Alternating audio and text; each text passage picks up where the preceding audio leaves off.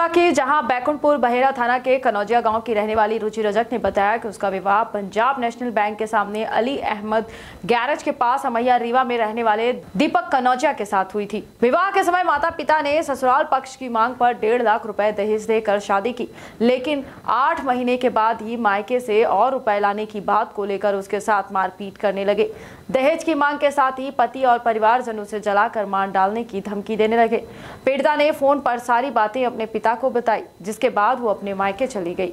वहीं अब उसके नंदोई के द्वारा फ़ोन पर लगातार उसे जान से मारने की धमकी दी जा रही है और ससुराल तभी आने की बात की जा रही है जब वो दहेज के साथ आए। वहीं परिवार वालों की दहेज की मांग और मारपीट से तंग आकर पीड़िता ने पुलिस अधीक्षक से न्याय की गुहार लगाई है। आइए सुनाते हैं पीड़िता ने क्या जानकारी दी है? मेरा नाम रुचि है। ये आज आप शिकायत करने आई हैं।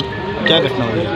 मेरे साथ चला रहे थे चला रहे थे मेरे दहेज मांग रहे दहेज मांग रहे थे। मेरे पापा ने नहीं दिया गरीब है। मेरे पापा के साथ मेरे को बहुत मारे रात भर मारे मट्टी तेल डाले। ननद नंदोई करा रहे थे। मनीष दीपक कनौजिया वर्षा।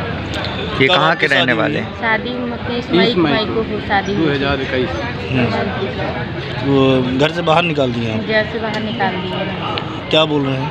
बोल रहे हैं पैसा लेके आओ नहीं तो जान से मार दिया जाएगा। किस ग्राम की शिकायत आपने है? दी है? नहीं दी है। शिकायत थाने में की है? हाँ जी। कोई कार्रवाई नहीं हुई? नहीं। कौन से थाने में शिकायत की? है महिला महिला थाने में। क्या चाहती हैं?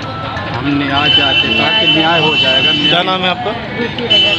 ठीक है। किस ग्राम की घटना है ये? राम बहेरा के हैं साहब ये लड़की हमारी रीवा में भी आई है। मारुति इंटीरियर एंड कंसल्टेंट प्रतिष्ठान खुल गया। जी हाँ आपके शहर रीवा में Maruti interior and consultant G S one zero eight Ashirwad plaza Dhekaha में खुल गया। हम सिर्फ़ घर नहीं बनाते हम बनाते हैं आपके सपनों का घर।